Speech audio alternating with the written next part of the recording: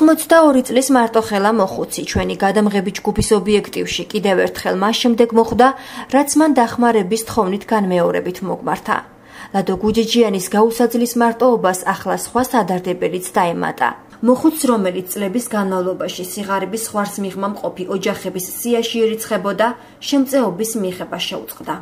ჩემი ჩემი მდგომარეობა არაფრის არ გამჯობესებული იმაზე ვარ ესადო ვარ რაც ვიყავი რაც ვიყავი და აი მომიხსნეს ეგი და რა ახლა რა უნდა ვქნა მე ყველა ახლა მაგულის შევაწუხე თქვენ შეგაწუხეთ ეხანა საბესი და არავინ არ მიმაქცია ყურადღება და დავჩი მარტო ასე ვარ მარტო ხელა რაც ნახევარი ფილტვი მეყენია მარტო. ნახევარი ფილტვი ფილტვი ასე მქონდა აქედან სულ მე გლახად გავხდი და ესე გულმა მომცა შეტევა და მე გულის ოპერაცია მაქვს კიდო გაკეთებული. 100 ლარი მინდოდა მანამდე და 150 ლარი მინდა ახლა წამალში. ყოველდღე უნდა ვსვა და 30 ცალია ემაში და ემა ერთი თვეს მეყოფა მარტო მეორე ისეთია და 150 ლარი მიждდება იგი დიდი სახლი სადაც მოხუსი დროებით ცხოვრობს ბევრ პრობლემას იტევს სოციალური აგენტის მიერ შეფასებული მდგომარეობით 79740 ქულა მიენიჭა. სიღარიბესთან გამიჯნული მოხუცის ცხოვრება რეალურად ასეთია. ერთჯერად ჩაის რამდენიმე დღე იზოგებს იმისთვის რომ წყალმა ფერი ოდნავ მაინც შეიცვალოს.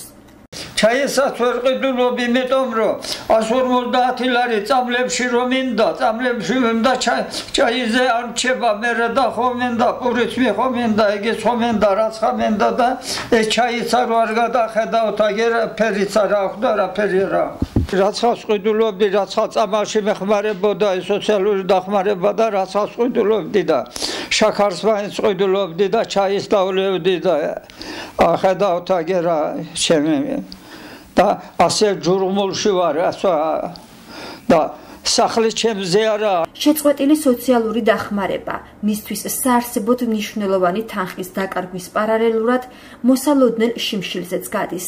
მინიჭებული პრესტიჟული ქულების გამო მოხუც უფასო სადილზეც უარსეუბნებიან ძლიერების სახში დავდიოდი, მაგრამ ყოველდღე მეუბნებიან, რომ არ მოხვედეო თუ არ მოიტანო მას სეღარების იმას.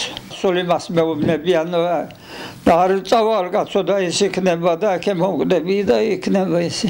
იმერეთის სოციალური მომსახურეობის სააგენტოში გუჯიჯიანისთვის დახმარების შეწყვეტის ერთ-ერთ მიზეზად საცხოვრებელი ფართი სახელდება.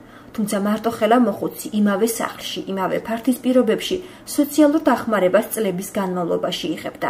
სააგენტოს ხელმძღვანელი გვპირდება, რომ სოციალური აგენტი მარტო ხელა მოხუცის გადასამოწმებლად განმეორებით უახლოეს დღეებში გავა. ოჯახის დეკლარაციაში დაფიქსირებული ამბატონის ასაკით, სტატუსის, ყველა ის მონაცემები, რაც ფაქტიურად ამ ოჯახის შესახებ ფიქსირდება. და ამ ყველა ის მონაცემები, რაც ფიქსირდება გავლენას ახდენს სარეიტინგო ქულაზე. მინიჭებული სარეიტინგო ქულის შესაბამისად ამ ოჯახმა ვერ მოიპოვა საარსებო შემწეობის მიღების უფლება. გადამოწმების წესი არის ჩვეულებრივად ის, რომ თუ არსებობს ახალდაღმოჩენილი გარემოება, შეუძლია ოჯახს მოგმართოს ახლა ამ გარემოების დადგენისთანავე, თუ არა და სანამ ერთი წელი არ გავა, ოჯახი თავიდან ვერ შეფასდება. ჩვენ შეგვიძლია კიდევ ერთხელ განახორციელოთ ვიზიტი ოჯახში. ამბატონის ასაკიდან გამომდინარე შეიძლება არის რაღაც საკითხები, რომელსაც თვითონ ვერ აფიქსირებს და შესაძლოა არის რაიმე გარემოება და თუ კი დადასტურდა კანონით განსაზღვრული რაიმე სხვა გარემოება, რაც ამ წუთში დეკლარაციაში არ არის დაფიქსირებული, მოხდება შესაბამისი რეაგირება. ტელეჟურნალის 7 დღე 82 წლის ლადო გუჯიჯიანის დარჩენილ მწარე დღეებს ყურადღებას მომავალშიც მიადევნებს. იმ იმედით, რომ მარტო ხელა მოხუცი თავისი დაუმსახურებელი პრობლემებით ჩვენს ობიექტივში აღარ მოხვდება.